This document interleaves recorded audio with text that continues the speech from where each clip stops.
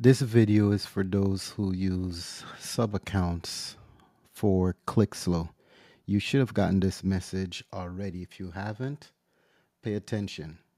In this video, I'm going to go through this process. Here, you should have been greeted with a message that says your account needs to be transferred. Simply put, Clixlo is shutting down their agency account. What does that mean for you? If you have an agency account, you'll need to transfer it to the master account, which is high level, or to another agency account.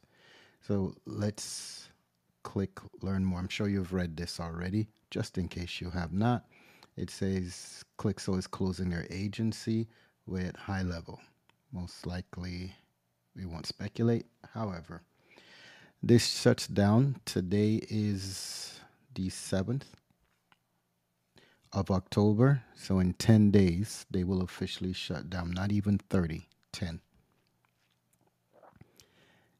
And so they're telling you why why moving your account to high level will provide you these options.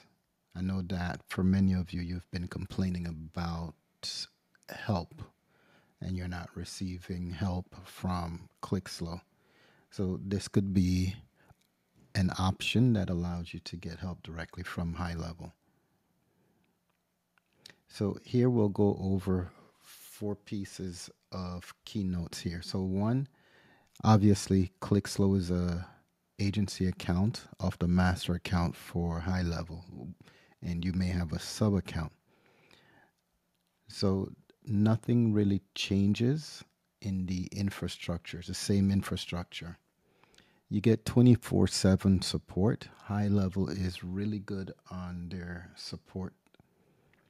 And you get exclusive resources. You gain access to various lives, various other information that will help train you. Unless you want more personalized service where you can hire someone like myself. Personalized support high levels onboarding team that will help you with the transition.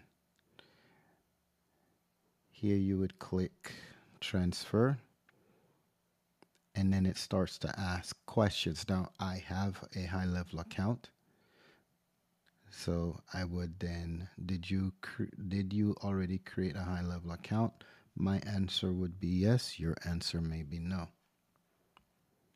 So let's say your answer is yes now you begin to fill out the necessary information here. Let's say we go with, I'll have to go back and search for my relationship ID. Here is saying how to locate it. So let's click how to locate it. And voila.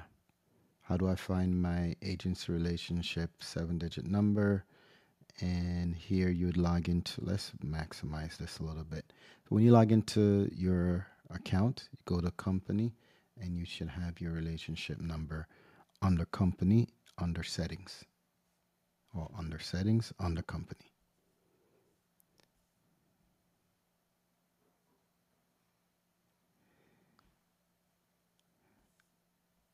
And then if you have any help you can just click and then copy. Go from there. That's it for this video. I wanted to just share that aspect of it with you so that you are aware of what's going on with high level and Clixlo. If you have any questions, type it in and don't forget to comment.